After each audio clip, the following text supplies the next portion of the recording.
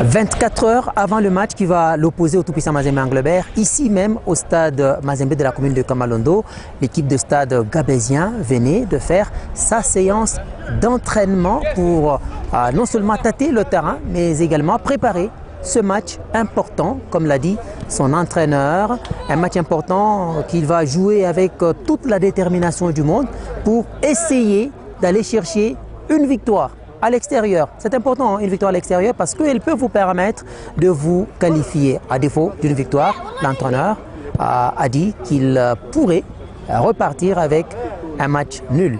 Un point qui euh, peut là aussi peser dans la balance au match retour. Mais il va falloir se jeter dans la bataille face au Corbeau de Mazembe ici ce dimanche pour arriver à faire un bon résultat parce qu'il reconnaît que Mazembe, c'est une grande formation, un grand nom à travers l'Afrique. Il faut les jouer, aller les chercher pour essayer de ramener quelque chose à la maison.